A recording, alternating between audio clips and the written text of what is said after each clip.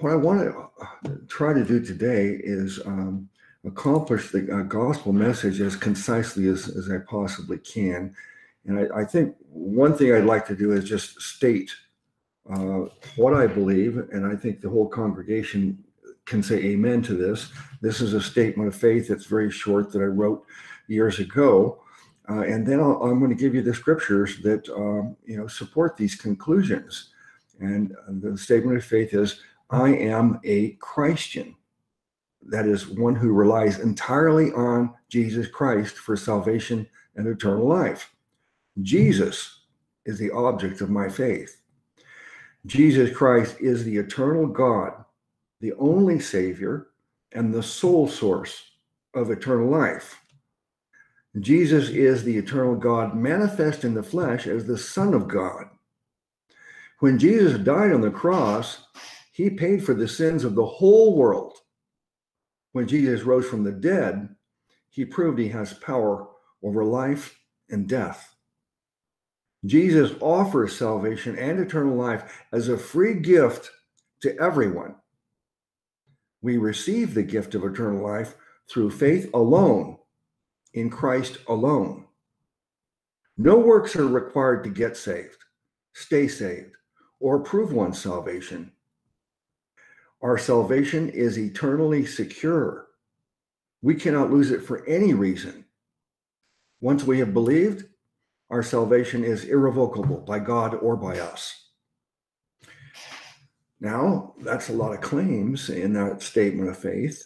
Uh, is there anything in the Bible to support these claims?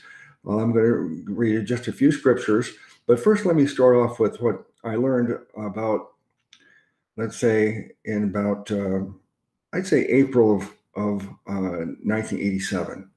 I took a course called Evangelism Explosion, and it, it, it said you begin with diagnostic questions. We need to diagnose. So, anybody listening now, I'd like you to answer these two questions. And uh, it, by your answer, I can diagnose you or I can determine if you are a saved person or not, if you're going to go to heaven or not.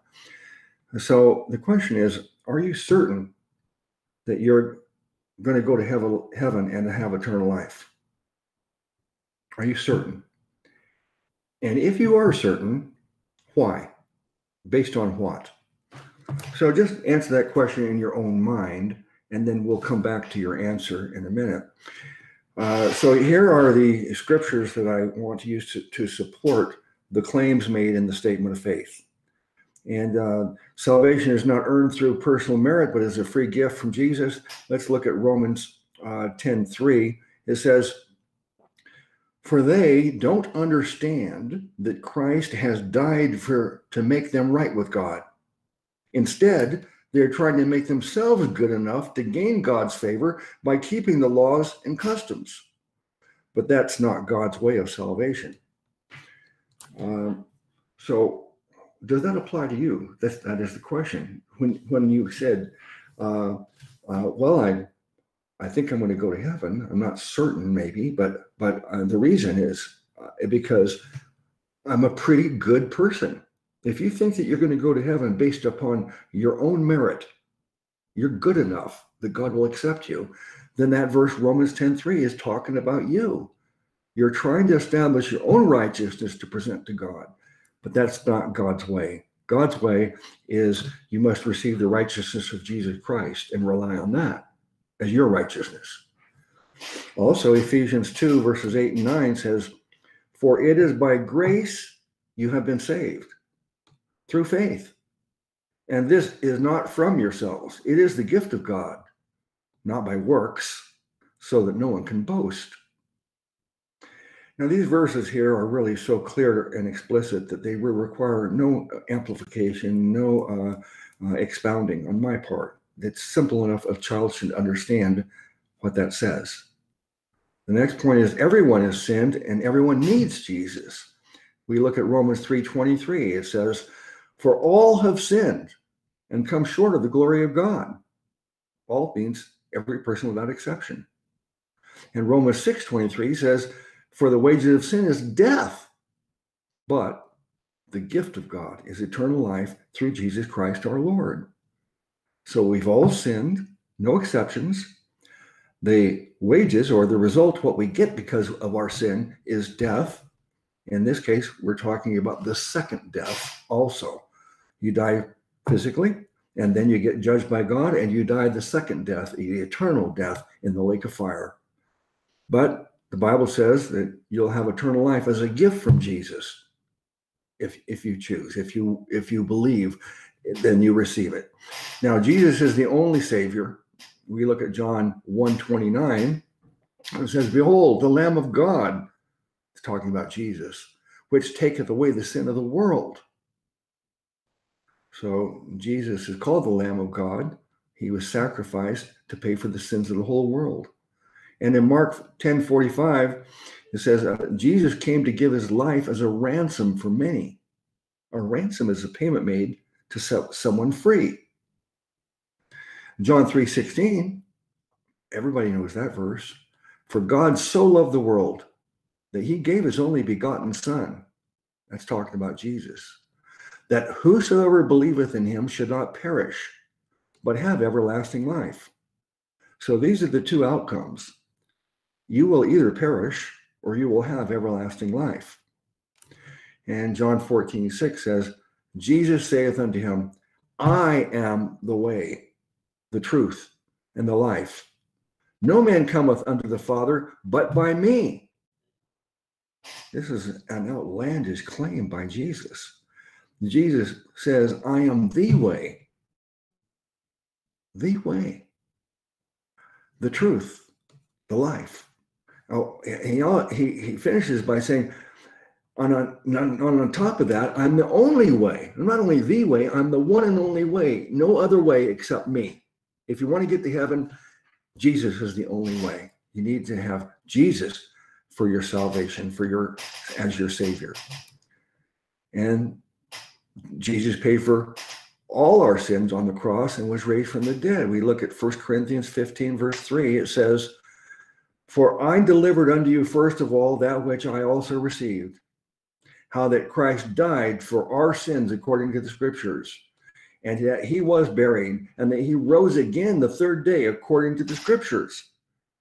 So Jesus died on that cross to pay for your sins. He rose from the dead to prove his claims are true. He is God, he is Savior, he does have power over life and death. And what do you have to do? Simply believe on Jesus, and eternal life in heaven is promised and guaranteed to you.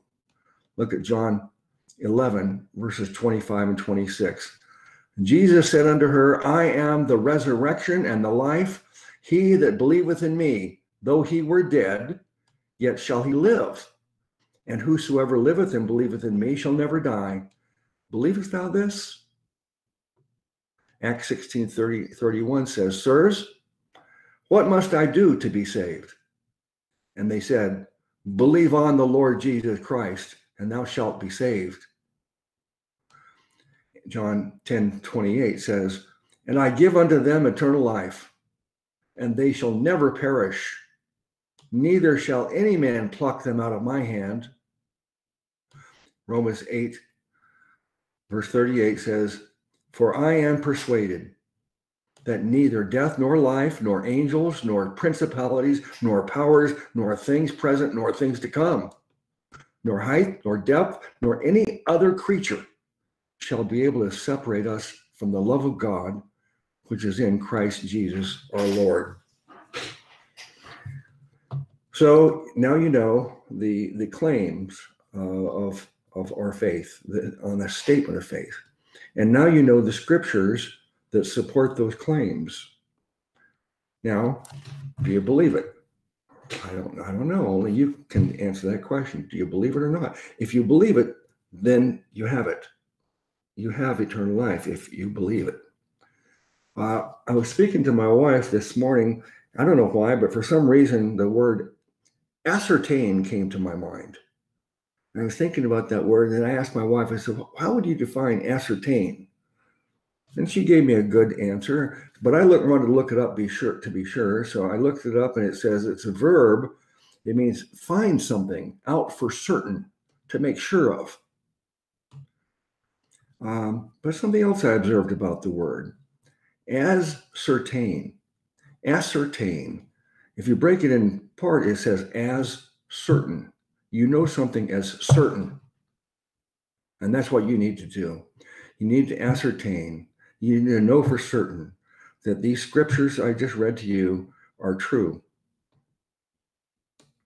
And when you believe it with that confidence, then you have eternal life promised and guaranteed to you. All right, that's the good news. It's called the gospel because that's a Greek word that just means good news, but that's an understatement. It's the greatest news I've ever heard. And if you understand it, you should be jumping for joy right now.